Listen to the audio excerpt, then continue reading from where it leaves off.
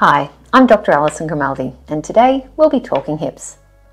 While total hip replacement removes joint structures as a source of nociception, soft tissue related pain may persist or develop following arthroplasty. One of the most likely reasons for anterior hip pain after hip replacement is impingement of the iliopsoas tendon against the underlying prosthesis. Iliopsoas impingement may occur in up to 4.3% of patients who undergo hip replacement surgery.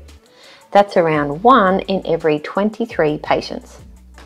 Patients with this condition usually present with anterior hip pain on contraction or stretch of the iliopsoas.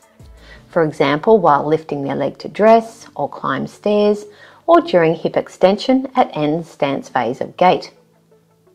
The primary reasons for iliopsoas impingement are related to the selection and placement of the acetabular cup.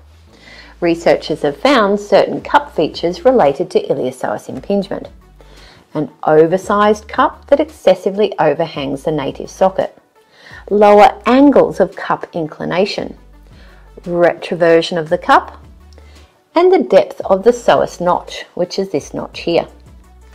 You can read more about the causes and management of iliopsoas impingement in my blog on this topic. Thanks for joining me, and I'll see you on the next episode of Talking Hips with Dr. Ali.